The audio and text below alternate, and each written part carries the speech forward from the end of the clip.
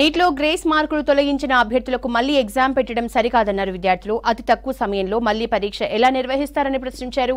Prepare అవ్వడానికి time ఇవ్వలేదని ఆవేదన వ్యక్తం చేశారు. కేంద్రం ఎన్టీఏ అసమర్థతతో నష్టపోతున్నామన్నారు.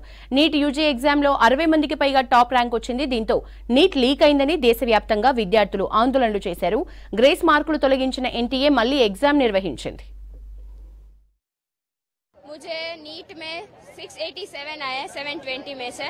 बहुत मेहनत से आए हैं और डेडिकेशन से आए हैं। पूरी दिन रात जग कर हमने ये ये अचीव किया है और ये अचीव करने के लिए हमने हमारे सारे सेलिब्रेशन बर्थडे सब कुछ हमने दाव पे लगाया था और ये मेहनत करके आए हैं। तो जिन्होंने चीटिंग की है, उनको ही दिलवाओ। हम रीनीट नहीं होनी चाहिए फिर से।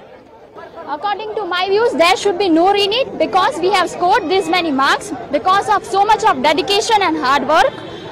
Only the students who have scored below 600 are wanting for re-NEET. But what about the students who have scored 600 above? They have scored by uh, doing dedication and so much of hard work. It would, it won't be possible to score good after a gap of 1.5 months if there is a re-NEET. It's like playing with our futures. So we want justice. There should be no re-NEET.